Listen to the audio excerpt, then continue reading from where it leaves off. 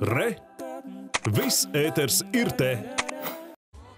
Šodien iepazīstināsim jūs ar sabiedrisko mēdīju balvas kultūrā kilograms kultūras finālā izvirzītajiem nominantiem mantojuma un vizuālās mākslas kategorijās. Kā pirmo izvirzot stikla mākslinieces Sandas Munkavicas personāla izstāde dekoratīvās mākslas un dizaina muzejā.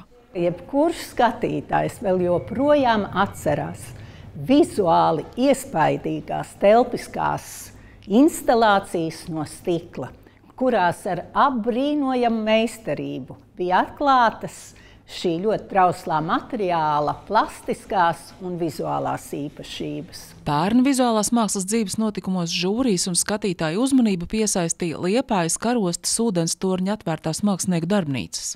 Idejas īstenotājs Egons Perševits uzskata, ka šī neparastā kultūra telpa ir ideāli piemērota gleznotājiem.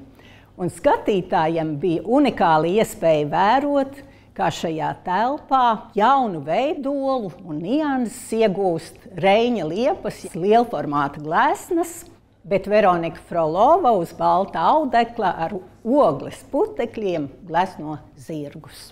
Balvas trešo pretendentu žūrija atrada Rīgā dzelzceļa vēstures muzejā, kur mākslinieks Pauls Jaunzems bija iekārtojis savas jubilejas trešo noslēdzošo izstādi visakmenī. Par izstādi var teikt, tēlnieks viens pret vienu ar 11 vareniem Latvijas laukakmeņiem. Mantojuma kategorijā finiša taisnē tikuši trīs ievērojami kultūra vēsturiski notikumi, kas met laipu starp pagātni un tagadni. Pirmais no tiem ir Hojeras kundzes nams Liepājā. Hojeras kundzes mantojums šobrīd tiek godināts ar neiedomājumu skaistu spodru, vēsturiski patiesu, bet reizē arī ļoti mājīgu un apdzīvotu namu, kur ir gan šīs 17. un 18. gadsimta mijas mm, parādības, gan mēs pēc tam nonākam pēkšņi 19. gadsimta pirmajā pusē.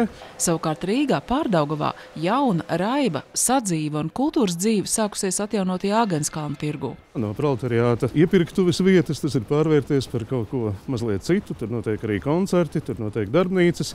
Vārds sakot, tas ir tirgus, kultūras centrs, satikšanās vieta. Un visbeidzot, Latvijas bankas simtgades izstāde vērtības zīmes, atklājot monētu kā paliekošu kultūra vēsturisku simbolu, latviešu tautas vēstures un garīgo vērtību iemiesojumu. Balsot par saviem favorītiem kultūrā varat līdz 1. februārim. Aneta Lesīta, Pēters Barkevičs, Latvijas televīzija.